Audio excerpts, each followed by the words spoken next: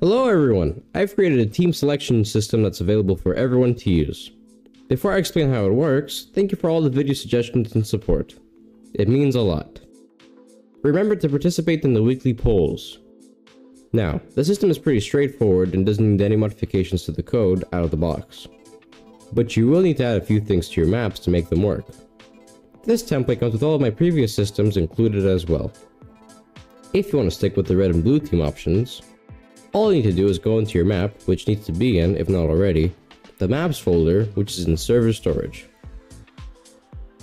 And you need to select your spawn locations and make sure that their team colors are either really blue or really red. Then you're all set. If you'd like to change the team colors, first adjust the team names and colors in teams to your liking, apart from neutral. Next, open up Storage UI, Main, Team Chooser, Frame, and change each button's background color to your team colors. Then go into Storage UI, Main, Loadout Client, and scroll down to line 176 and 180. And change red and blue to your team names. Lastly, you just have to change the spawn locations in your map to have your team colors.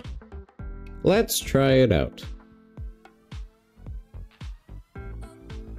Now, after the round starts, if we select the weapon and press deploy,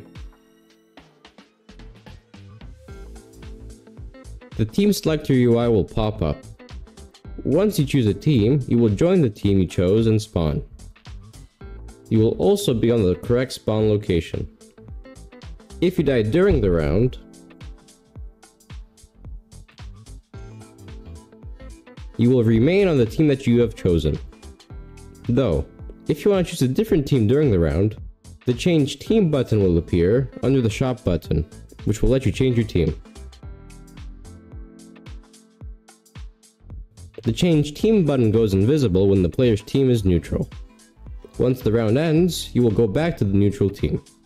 I hope you found this video helpful. If you did, please consider subscribing and commenting down below your video ideas. It might just be my next upload. Thanks for watching.